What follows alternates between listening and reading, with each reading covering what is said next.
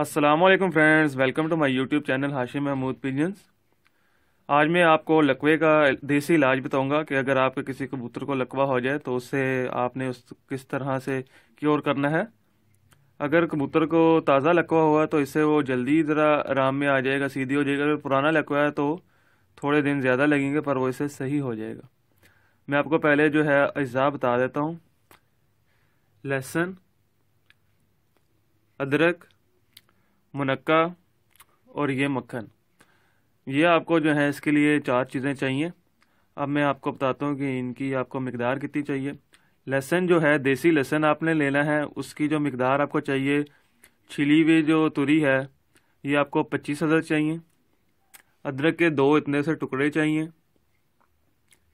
पहले आपने लहसुन और अदरक को जो है बरीक पीस लेना है, डोरी में डाल के अच्छी तरह से, खरल में डाल के इसको कूटें।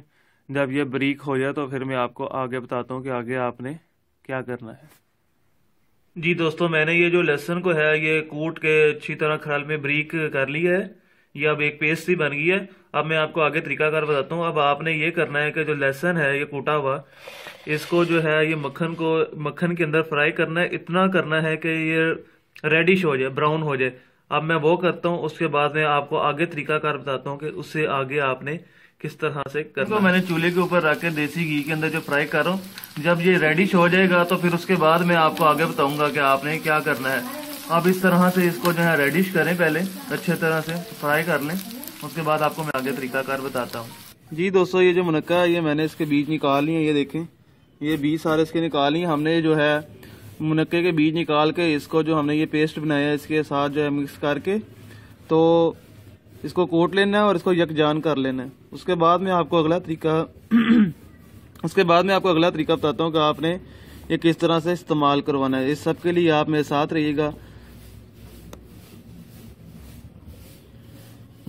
ये जो है, ये मिक्सर जो है, ये मिक्स कर दी है। मुनक्के के अंदर, मुनक्के में से बीज निकाल लेने हैं। बीज निकाल के जो है, हमने उसको जो बना हुआ पेस्ट है, अदरक, लहसुन और मक्खन का, उसके अंदर मिक्स कर देना ये देखें, आपने इस तरह से अच्छी तरह इसको मिक्स कर देना और अब मैं आपको बताता हूँ कि आपने ये कितनी मकदार में जो है ये कबूतर को इस्तेमाल करवाना है।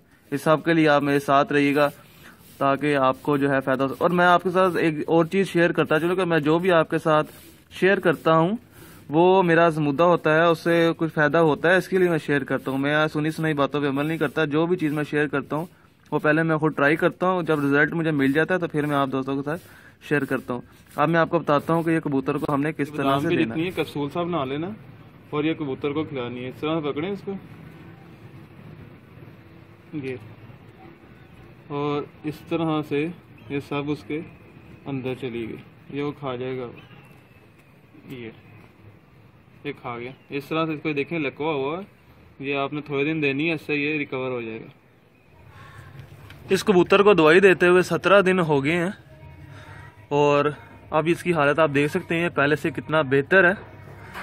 इसको मैं थोड़ा सा हिला के भी आपको दिखाता हूँ, ये देखें। ये देखें, आपके सामने ये कितना बेहतर है। ये वो कबूतर है जिसका मैंने लकवे का इलाज किया तो अब ये ठीक हो गया। ये आपके सामने है, इसकी गर्दन बिल्कुल सीधी हो गई है। पहले ये घुमा के अपनी टांगों के अंदर ले जाता था। तो मैं आपके साथ एक दो बातें शेयर कर दूँ कि आपने खजूर की गुड्डी जितनी, वो जो दवाई बनी हुई है, वो देनी है। और इसको जो है, आपने शाम को सूरज गुरूब होने के बाद देनी है, और पानी उठा लेना है, उसके आगे पानी बिल्कुल ना पड़ा रहे। पानी इसके बाद नहीं देना, आपने इसको सुबह जो है दाना भी देना है और पानी भी देना है। और पूरा दिन जो है इसको आपने धूप में रखना है, कबूतर को जो है पूरा दिन धूप लगे, धूप के अंदर छोड़ दें। और रात को क्योंकि सर्दी है तो आपने कवर कर देना है। अच्छी तरह से इसको कवर कर देना, हवा बंद जिसे कहते हैं वो कर देना आप ये अठारह बीस दिन देंगे तो आपका कबूतर ठीक हो जाएगा। ये आपके सामने है, ये कबूतर जो है गर्दन घुमा के बिल्कुल अपनी टांगों के अंदर ले जाता था। और अब ये आपके सामने है, ये सीधी कर गया है।